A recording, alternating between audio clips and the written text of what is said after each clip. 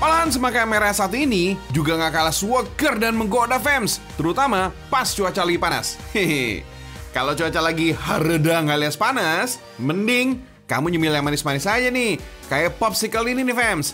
Ada rasa buah dan bisa di custom dengan rasa-rasa lain seperti coklat atau marshmallow gitu fans.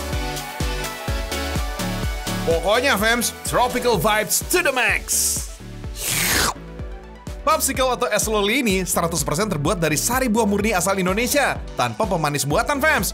Uh, sensasi baru makan buah nih. Biar kalian makin yakin, kita ajak kalian ya ke rumah produksinya. Kuy! Konsep homemade popsicle ini dikenalkan oleh sang pemilik di tahun 2015. Meski awalnya masih dibuat dalam skala kecil, usahanya terus berkembang karena peminatnya makin banyak. Tap Soul, buah yang sudah dikupas dan potong-potong selanjutnya akan dihaluskan sampai benar-benar tak menyisakan ampas ya fans. Asal tahu aja nih, sudah lebih dari satu abad popsicle jadi salah satu dessert yang identik dengan musim panas. Seiring berkembangnya zaman, es loli ini rasanya juga nggak melulu manis atau asam yang segar, tapi bisa dikreasikan dengan rasa creamy dari susu atau yogurt untuk membuat varian produknya semakin digemari di tiap generasi. Wait, kasihkan cerita, jadi lupa nih kalau udah waktunya jus buah semangka ini masuk cetakan. Konsep artisan popsicle ini gak pernah berubah meski permintaan terus bertambah loh.